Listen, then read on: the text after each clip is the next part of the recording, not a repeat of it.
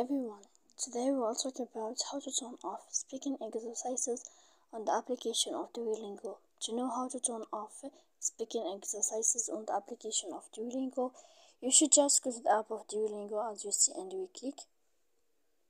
After that in this page, you will go down to click in this sign and you will enter. When you will find this page here, you will go to above and you will click in the sign. After that in this page you will go down to search about this sign here and will click. If this sign changed uh, this color then you can know how to turn off speaking exercises on the application of Duolingo as you see here. So please uh, and then we click save. So please don't forget to support us by like and subscribe. See you next time in another video and thank you for your attention.